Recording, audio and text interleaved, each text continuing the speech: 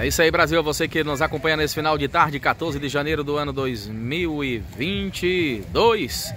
Estamos falando aqui diretamente de São Geraldo do Araguaia, onde você está vendo as imagens aí é, da obra de construção da ponte do Rio Araguaia. E o Rio Araguaia que continua enchendo, continua subindo as águas do Rio Araguaia aqui em São Geraldo. Olha aí, ó. Aqui no pé da orla aí como é que está, ó. Encheu tudo já, ó.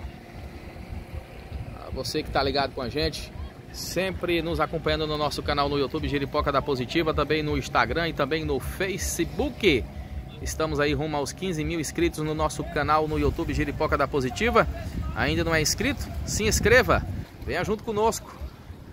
Nosso canal Giripoca da Positiva.